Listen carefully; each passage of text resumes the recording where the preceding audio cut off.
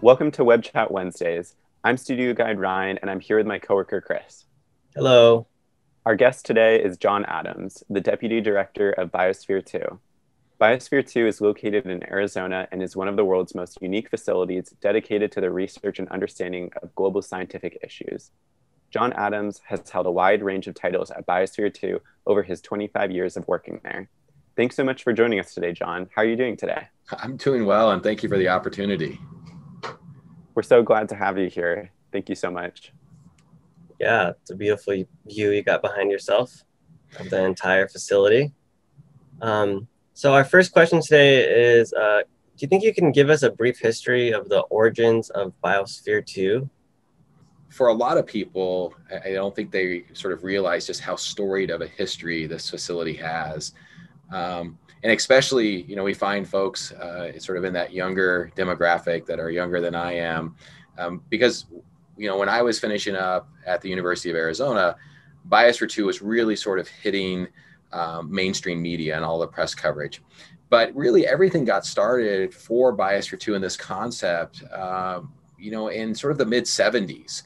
Uh, but it really began to pick up steam in the early 80s when they purchased the property uh, that you see behind me or in that image there with the intentions of building a system or a facility that would capture in part some of Earth's systems and those functions. And their fundamental basis for doing so is they felt that we needed to better understand Earth systems. They're infinitely complex. They knew that they would not be able to sort of tease apart some of these fundamental mechanisms unless they built a facility like Biosphere 2 and were able to capture what was happening on Earth. Now, what ended up sort of making the headlines um, and because it's you know it's a lot cooler to talk about it and it's the same things that we hear about today. It's all of this discussions around what is it going to take to get us back on the moon and eventually set up a colony on mars. So we hear so much about that today with these private companies with nasa's objective of trying to get back to the moon by 2024 and we know that there's a lot that needs to be done in order to do that. And when they started building biosphere 2 in 1987 um, there were similar discussions and a lot of people uh, termed or view Biosphere 2 as sort of this futuristic colony like structure that we could maybe envision seeing on the moon. In fact, there's been a lot of artistic renderings uh, that dis- display it as such. But again, that foundation was to better understand Earth systems. And it took them four years to build the facility that you see there behind me. It covers a little over three acres. The north south axis, which uh, that tall pyramid that you see there in the back, that's the rainforest. And so that's on the northern end of the structure. And if you work your way south, there's another smaller pyramid on the southern end. That whole distance is almost three football fields in length. That rainforest is about 91 feet tall. It's almost equivalent to about a half acre in size. Uh, the whole structure, and you can see a little bit of that white area uh, or that white skinned portion. That's what we call the habitat. That's where they lived when they were inside. And what you can't see is right behind that is another half acre of space, all encased under that same glass structure, what we call the former agricultural area, which is now the site of LEO, the Landscape Evolution Observatory. And I'll talk a little bit more about that. But they lived inside of that. And when I say they, it was eight people, four men and four women were sealed inside Biosphere 2 in September of 1991. You know, there was a lot of hype, there was a lot of anticipation, but ultimately, uh, you know, they just didn't quite get some of the balances correct. Now, in the popular media, if you go and do a YouTube search or look at old press clippings, you know, one of the most common terms that I hear uh, used to describe those early experiments inside Biosphere 2 when these people were living inside is that they failed. Well, I come from a background from science and you, you never fail an experiment. Okay. So you always learn something new. The reason we do experiments is because we don't know the outcome. If we know the outcome, then we're just proving what we already know. And the objective is to learn more. And I don't know of anything, whether it's the iPhones that we all use today or, or Android or our computers, that sort of they got it right out of the gate. You know, there's always an iterative process. That's science. And um, for 2 is in the same. So when they sealed it up, they didn't quite know what was going to happen. And one of the big, well, so there was three big challenges. You know, one, surprise, surprise, the, the eight people didn't get along really well. Okay. So it was really a social experiment. And, and I think, you know, we're always gravitated towards that social side uh, of the, the human dynamic. I mean, just look at how popular, you know, these programs like Survivor and Big, Big Brother and, you know, even, uh, you know, anything that captures sort of the human drama. And there was, a, there was definitely a little bit of that going on inside with these eight people. The other thing was, is that that half acre of farm space, although it was highly productive, did not necessarily produce the adequate calories for their daily needs. So they are always a little bit hungry. Now, they never were nutritionally deficient, but definitely calorie deficient. And then the final thing is that inside that structure, they sealed in a rainforest, an ocean, a savanna, a marsh, a desert. You know, they had hoped that these systems would help to balance the atmospheric needs. And what I mean by that is produce enough oxygen for them to breathe, recycle that carbon dioxide that was being produced by other systems. And it just didn't work. So, oxygen uh, in this two year stay, about 500 days into that first two year mission, basically dropped to a level of 14.2%. They had to add or introduce oxygen back in for the safety of the eight people that were sealed inside, but they weren't forthcoming initially with that fact. And so when it came out contrary, they would had to retract some statements. And we know how difficult it is to recover from those types, in my opinion, of missteps. Um, but it was a learning process. There were a lot of people who said that it would never flourish. It would turn into this sort of big algal mat inside, but it really self organized. If you look at it today, we have a fully established rainforest. We have a functioning Caribbean reef environment. We have a mangrove system, you know, a savanna full of trees, a desert area that just looks absolutely incredible. And, you know, it's, it's really doing pretty well. Sure, there were some challenges, um, but overall, that's sort of a quick overview of the history. And you can read a lot about Biosphere 2. But again, the most important takeaway it was not a failure. Yeah, thank you for the thorough answer. So, how has the focus of Biosphere 2 changed? We'll, we'll pick up sort of where I left off with the history. So, eight people were sailed, they stayed inside for two years. There was another mission, much shorter, that happened uh, sort of mid 1994. It only went six months. This time it was seven people five men, two women. And then the person who paid to build Biosphere 2 and his team, this gentleman by the name of Ed Bass, you know, the investment to build Biosphere 2 is estimated in the neighborhood of $250 million.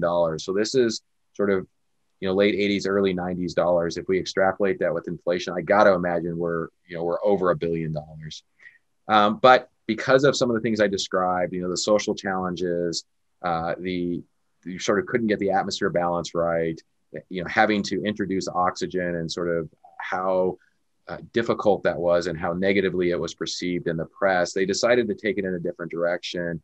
Some folks from columbia university actually were helping them understand why they couldn't figure out oxygen was going down at one rate carbon dioxide was going up at another and they should have really been mirroring one another and they couldn't figure out why it wasn't. It's a sealed environment.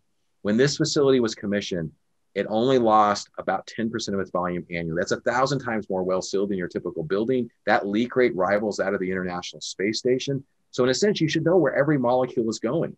And they couldn't mass balance their equations. And what they did is they ended up finding out that as the concrete was curing inside, it was actually reacting with the carbon dioxide in the atmosphere, which is a carbon and an oxygen molecule. And it was binding that.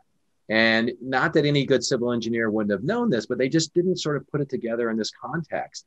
That was really the scientific light bulb moment because this guy by the name of Wally Broecker and a gentleman by the name of Jeff Severinghaus, who now has a very distinguished career over at Scripps Institute there in Southern California, you know, they they basically said we can trace every single molecule in these very complex, large systems in ways that we can't do on the outside. We think it should be used for earth and environmental sciences unless for having people live inside in these social experiments. So that really began to change the trajectory. And um, that all started sort of late 1994. And in officially in 1996, Columbia University took over. They kicked the tires. Ultimately, though, they had an administrative change. We know what happens when you have those types of administrative change. So about seven years into their tenure, they decided they weren't going to continue to manage the facility because they had a changing president, a changing vice provost, and these other key positions within the university. Um, and so it went back to the original ownership group. And uh, that group, we actually commissioned a study, uh, Ed Bass, that is, at the National Academy of Sciences. We had people from across the country say, you know, what's the value of Biosphere 2? Why should we use it for science? Is there still a value? Do people find it? And, you know, we had people from NSF and NASA and DOE and other universities across the country, and they all, you know, almost unanimously said yes. Uh, it is not a trivial management uh, objective to try to run the facility, and so, but ultimately, they felt it was most important that a in-state institution be uh, you know, running or managing the facility. And so Joaquin Ruiz, who was the, at the time the dean of the College of Science at the University of Arizona, this is the biggest college at the University of Arizona. Um, they do everything from space to hydrology to earth and environmental sciences. And he said, you know, I think we can do science there that we can't do anywhere else. And so, uh, sort of long story short, in 2007, they assumed management and then eventual ownership of the facility. And uh, you know, be, built on that which Columbia established, but even sort of took it steps further.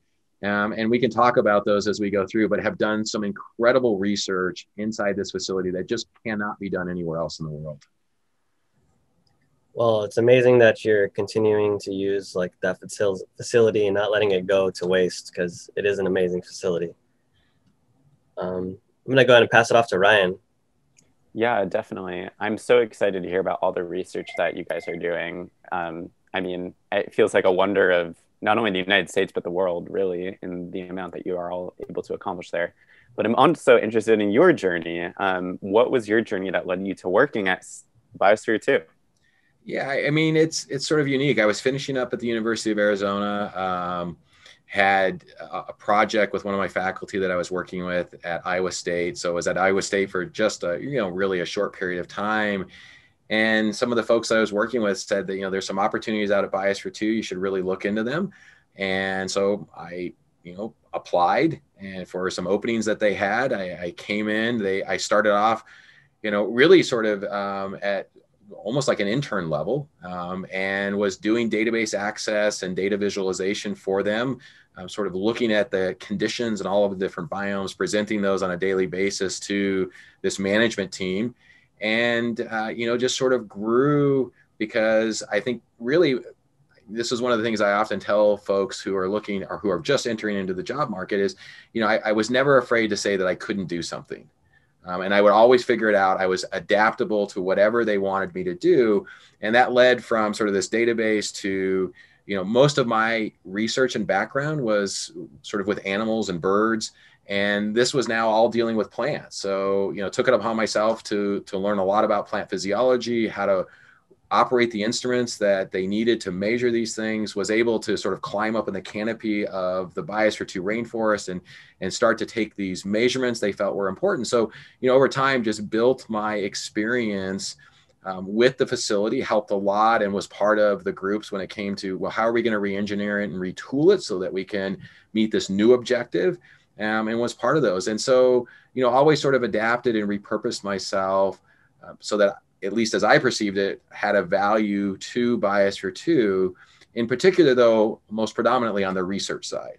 And I think that's what allowed me to transition as it moved from Columbia University back to the original ownership group, then eventually to its current ownership with the University of Arizona and my current role. So, yeah, I, I feel really fortunate because I've been here for, you know, almost or over 25 years.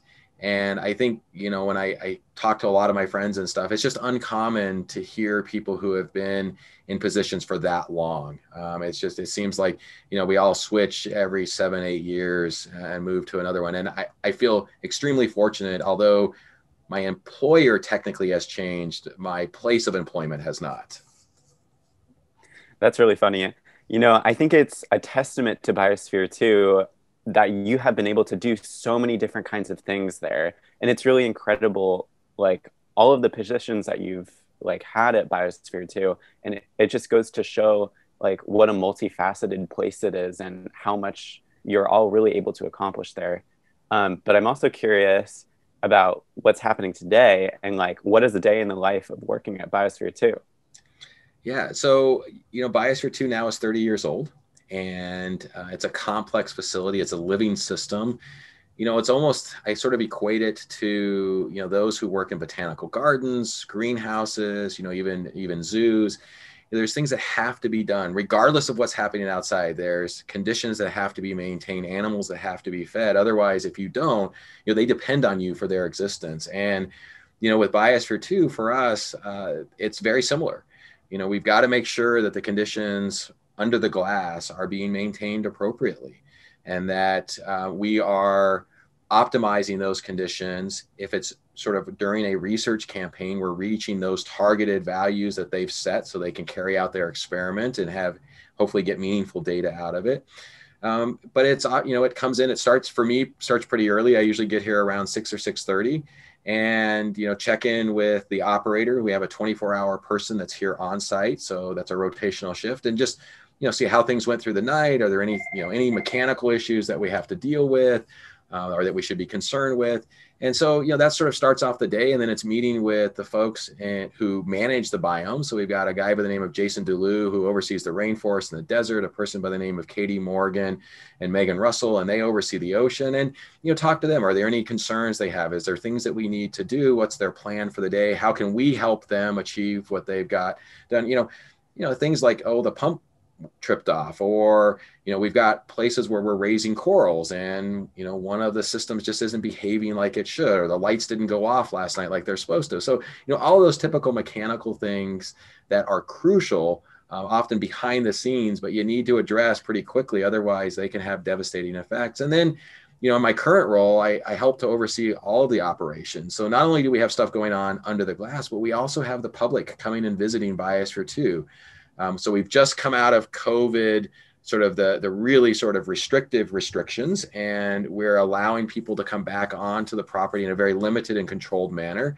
Uh, we have an app, but it's making sure that those things work, and our admissions folks have what they need, and you know there isn't a call off. Um, and we're also building out the site. So we've got people from other departments on campus. We just put up a 6.1 meter radio telescope on our property. We've got five space situational observatories for another department that they've got. They're looking to continue to expand that infrastructure, which is great for us. So, you know, for me, it's dealing with those and making sure we're getting permits to build those things and getting bids to move them along. So, I mean, I think you kind of touched on it that no day is ever the same here at Biosphere 2. Um, work with an incredible team of people, although we're very small and it's remarkable i think and a real testament to the people we have here today of just how much they get done and how much they're able to do with with you know a relatively small team.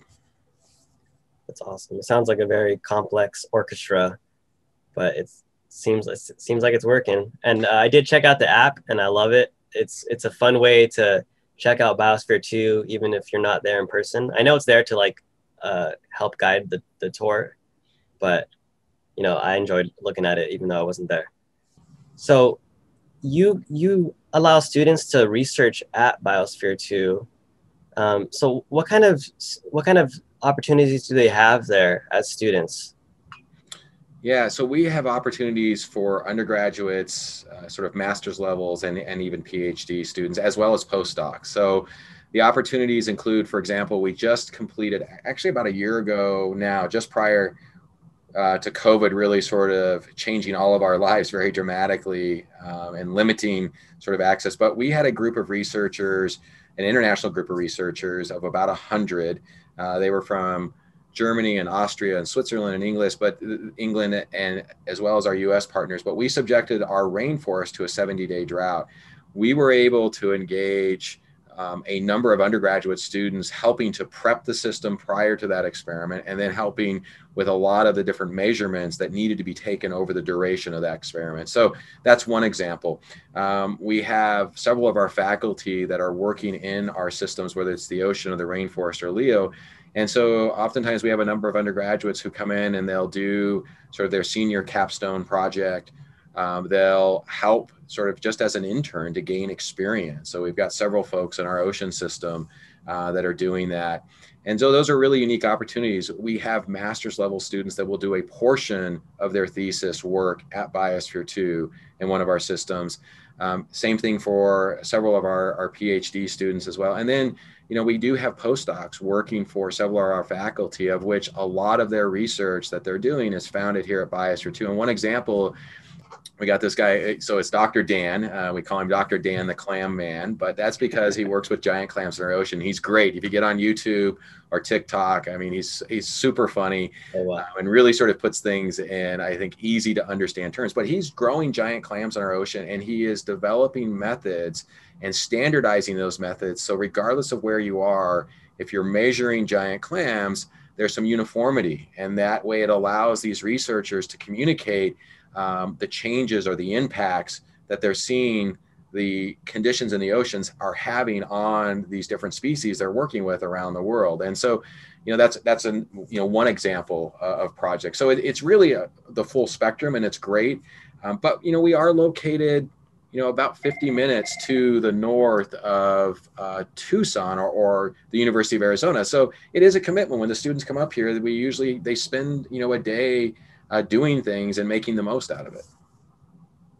That's an amazing opportunity. I can only imagine like having the opportunity to study. I do feel like like when you work with people who are doing amazing things, it helps like shape you so into into something like greater to your like fullest potential. So I know that you guys are turning out these great students and who are going to do you know carry on the legacy and turning out great research. I mean, I'm so curious if you could expand more on some of the examples of um, research and studies that you guys are doing at Biosphere 2, like for the future and how it might impact, like, I mean, you touched on this a little bit already, but like so many different areas of science. Like you mentioned space research, and then also the that it's the bridge between like laboratory research and also in the field research. Um, and how the different biomes might have their own each might have their own studies that's going on. Um, i'm curious if you could expand more on some examples about what's happening in the future with that too. Yeah absolutely. Um, and that's a great question i mean that's why we're here. That's why the university of arizona took over um, is because of the unique research opportunities. So um, really if you look under the glass uh, there's three primary focal areas. There's the rainforest there's the ocean and there's that what we call LEO, the Landscape Evolution Observatory, um, and we've repurposed what I mentioned earlier, that previous agricultural space, to um, house LEO. The rainforest, you know, is a fully established tropical system, um, complete with tropical plants, and it was originally modeled after after a an area you'd find down in the Amazon basin. Now, the important thing is that all of the systems I'm going to talk about, none of them are analog, so there's no true replica for Earth or Earth systems. And I think the most important lesson learned early on from Biosphere 2 is just how little we truly understand Earth systems. But since our rainforest has been in place for roughly 30 years, it has 98 species in it. Um, you know, it's got a, a soil depth in some of the you know deeper areas. You know, that's close to 15 feet. Some of these trees now are pushing up against the upper portions of the glass, which is right at 91 feet tall. So you've got this really well-established community, and you know there are questions. So there was a there was a paper published where it, it was about the big leaf model and it said okay you know tropical systems are going to set they're going to saturate. Their ability to take up carbon dioxide is going to plateau at about 600 parts per million. Well how do you test that? You can't stick a dome over an area in, in, in brazil and test that idea. Well because we've got a system it functions not exactly but close to. We can understand some of those fundamental mechanisms. We took our rainforest through a series of atmospheric CO2 levels, um, that which was beyond the 600 parts per million. And we found that our system, just like the model predicted, saturated at 600 parts per million. So model validation and calibration. That's one example. Um, another one is this. We, we did an experiment. One of our postdocs, uh, what she did is she just published a paper in Nature Plants. It also was picked up by National Geographic as part of a larger story that they've just published. But the idea was is how resilient are these systems under higher temperatures, in particular our tropical systems, and what resiliency do they have? Do they completely sort of fall off, or you know, are they a little bit more resilient than we thought? And what she was able to do is she looked at how well they are at taking up CO2, giving off oxygen, this photosynthetic process. And she found and was able to have data to support that they're a little bit more resilient than what we had thought under higher temperature. You know, that's a good thing because we see them getting warmer and drier in the future. Um, this most recent experiment was this international team subjected it to a 70 day drought. And they looked at how the system changed its partitioning and cycling of carbon, energy, and water. Because we can control the atmosphere, we can um, release tracers into the system and really precisely know well is it going all into the roots or is it in the stem or is it in the, the leaves in the mid canopy or is it all the way at the top um, so they can use these tracers to do things that they just couldn't do in nature you know our ocean system there's a big question you know we hear a lot about the extensive reef loss around the world you know the great barrier reef has lost 50% of its coral species or its corals and it's continuing to accelerate people are very concerned um, that's primarily driven by temperature, but we know that increases in atmospheric CO2 means you're going to get a change in water chemistry. That's a CO2 is a gas soluble in water. So more in the atmosphere means more in the water. That ultimately translates into a reduction in the pH of the water column. There's some chemistry that happens that changes uh, that uh, availability of a carbonate ion and it's not as available under higher CO2 concentrations. And what we found is that corals suffer. So we published a paper in one of the first places to show the negative impact of increasing atmospheric CO2 on coral calcification rates. Um, today, we're actually working with a company in Southern California. We're, we're right in the early stages of developing a scientific protocol for them to work with us. But the idea is to use our system to test probiotics and how they may help corals deal better with heat. Now we're a great place to do it because you got to test those ideas in a lab and you got to retest and you know test them over and over. The ocean is a bigger system too where we can do some of those things and how can you distribute them and what is their resiliency because we can take our ocean system and we can change the water chemistry as I just mentioned. We can change the temperature in very dramatic ways. And our ocean system that system is a million gallons. So it's the largest experimental ocean in the world you know, so yes, there's bigger wow. ones at SeaWorld, there's bigger ones at Georgia Aquarium, but they're not willing to push the limits to understand the implications of those changes on the organisms living in them. You know, that's what we're here to do. And we're here to try to understand those. In Leo, we've created three large hill slopes. They're replications, and we're we're looking at how does the progressive change in the landscape change the dynamics of the hydrologic cycle. So it rains in the mountains, how much water ends up downstream for you and I to use, and what impacts the quality of that water. It is all driven, well, much of it is driven by that which is happening below the surface, but hydrologists will still tell you, you know, they don't know really what's going on once it goes below the surface. It's still very much a black box. These these three hill slopes were specifically designed to try to understand some of those basic hydrologic properties, how they change, and building complexities in a system and how does that change those dynamics. So that's a really quick overview and there's a lot more that we can go into detail and you can find online about you know some of this research as well. Thank you.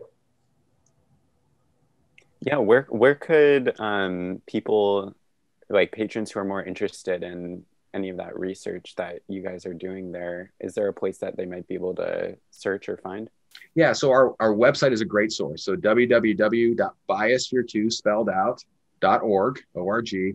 And um, you can go online and sort of there's a, right at the bottom of the homepage, there's significant research outcomes. So a lot of what I just highlighted is there. You can go to the research section and you can look at each of the biomes and there's descriptions of, of what we're doing. You know, sort of if, if people are looking for just a shorter overview version, you know, we've got a really great YouTube channel uh, so Biosphere 2, you can go online, you can see a lot of our videos. We've broken them out or categorized them by biome. And so many of these videos are short explanations by our researchers and our team as what's going on here. And, you know, even follow us on social media. So, you know, we're active on all the platforms, uh, regularly posting, and many of those posts come from the people who are doing the work in those systems, highlighting what's going on that day or explaining a particular experiment. So I think all of these are great avenues um, to learn more about what we're doing or to continue to follow us on a, on a daily basis. Thank, Thank you so much. That's great.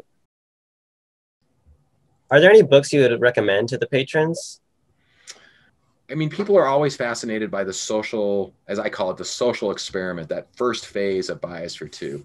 So, um, you know, there are a number of, there are several books written by former bias biospherians. So one is Jane Poynter, another is Mark Nelson. Um, I would look them up. They've written a couple of them, and though their books are great, I've read them. I, I really enjoy them, and I think they give you their perspective on building this sort of really unique system.